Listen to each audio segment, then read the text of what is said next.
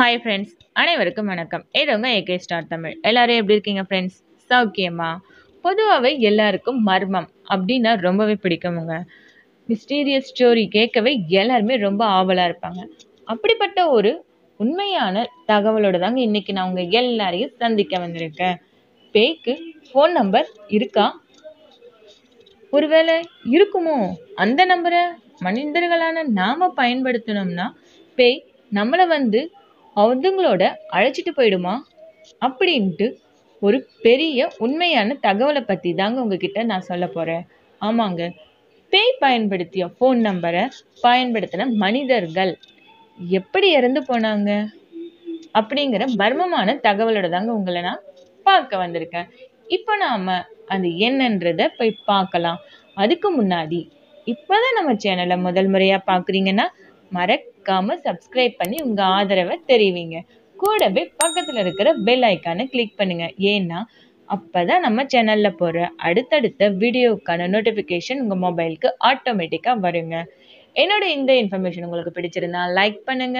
இந்த இன்ஃபர்மேஷனோட கருத்துக்களை கீழே கமெண்ட் பண்ணுங்க.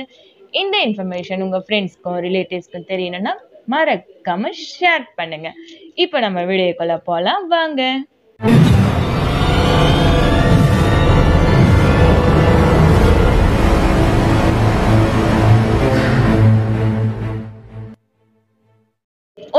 பேய் இருந்திருக்கு நம்ம கேள்விப்பட்டிருப்போங்க. ஒரு பொம்மைக்குள்ள பேய் இருந்திருக்குன்னு நம்ம கேள்விப்பட்டிருப்போம். ஆனால் ஒரு ஃபோன் நம்பருக்கு பின்னால் பேய் இருந்திருக்குன்னு கேள்விப்பட்டிருப்போமா?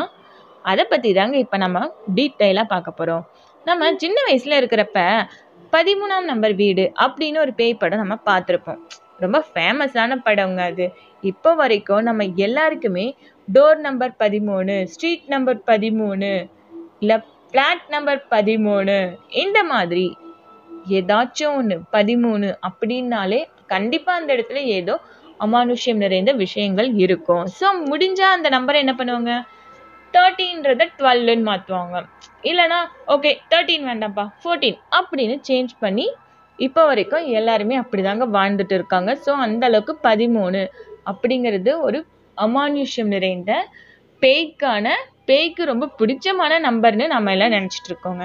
அதே மாதிரி தாங்க பல்கேரியா நாட்டில் ஒரு சூப்பரான சூப்பரானன்றதை விட கொஞ்சம் பயங்கரமான ஒரு மர்மமான சுச்சுவேஷன் தாங்க சொல்லணும். அந்த நாட்டில் வந்து zero triple eight again triple eight triple எயிட்னு ஒரு ஃபோன் நம்பர் வந்து மர்மம் அடங்கி தான் அங்கே இருக்கிறவங்க எல்லாருமே நம்பிட்டு இருக்காங்க. அந்த ஃபோன் நம்பரை வச்சிருக்கிறவங்க எல்லாருமே இறந்துட்டதா அப்படின்னு சொல்கிறாங்க அதனால இந்த நம்பரை இனி யாருமே யூஸ் பண்ண வேணாம் அப்படின்ட்டு அந்த நாட்டோட அரசு வந்து முடிவு பண்ணியிருக்காங்க. இதோட முதல் மரணம் பார்த்தீங்கன்னா இந்த எண்ணை முதல் முதல்ல யூஸ் பண்ணது யாருன்னா அந்த நாட்டோட மொபிடல்னு சொல்கிற நெட்ஒர்க் கம்பெனியில் இருக்கிற சிஇஓங்க அவரோட நேம் பார்த்தீங்கன்னா விளாடிமிர் கிராஸ்னவ் அப்படின்றவர் தாங்க இந்த நம்பரை ஃபஸ்ட்டு ஃபஸ்ட்டு யூஸ் பண்ணார். இந்த நம்பர் வந்து அவர்கிட்ட இருக்கிறப்ப அவருக்கு திடீர்னு கேன்சர் வந்ததுங்க.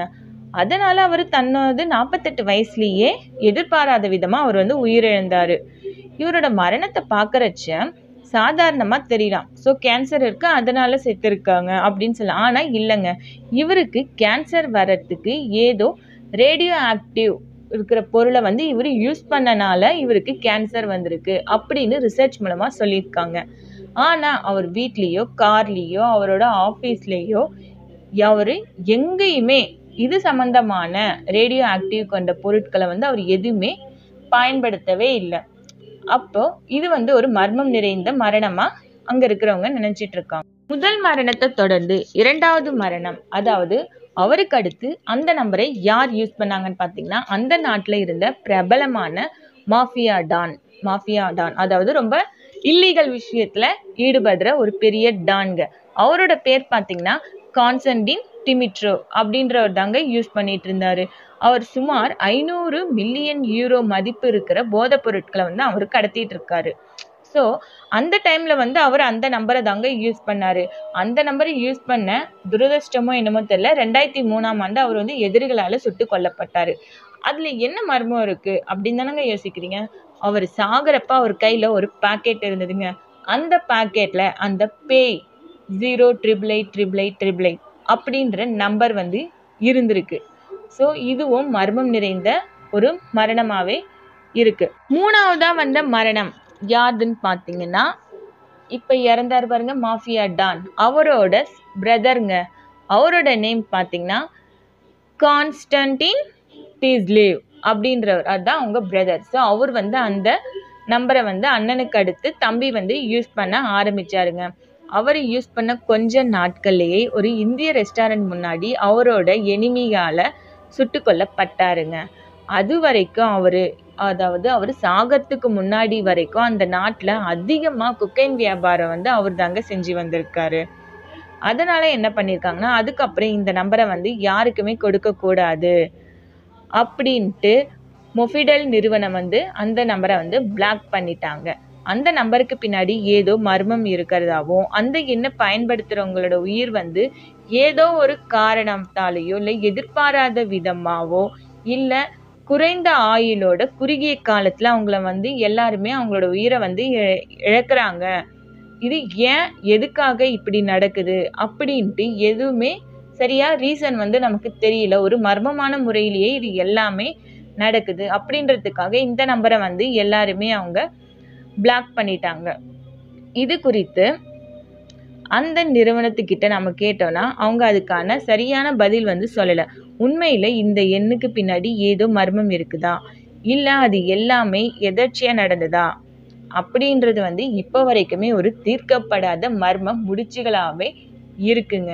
மொத்தத்தில் இந்த நம்பரை பயன்படுத்தின ஒவ்வொரு நபரும் ஏதோ ஒரு சூழ்நிலையில் ஏதோ ஒரு காரணத்தால் ஏதோ ஒரு பிரச்சனையால் தன்னோட உயிரை வந்து இழக்கிறாங்க.